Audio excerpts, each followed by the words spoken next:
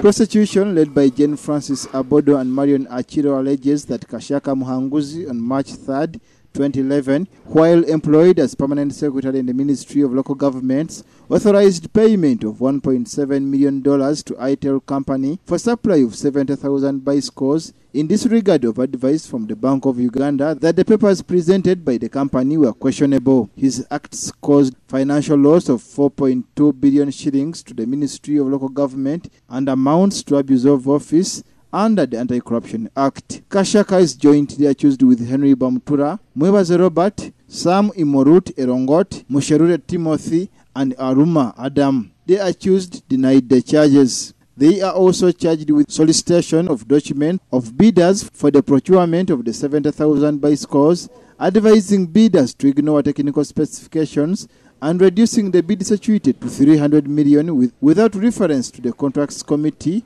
which contravened the PPDA Act. Kashaka's lawyer, Richard Mwebembezi, objected to the fresh counts, saying they had no documents relating to the same.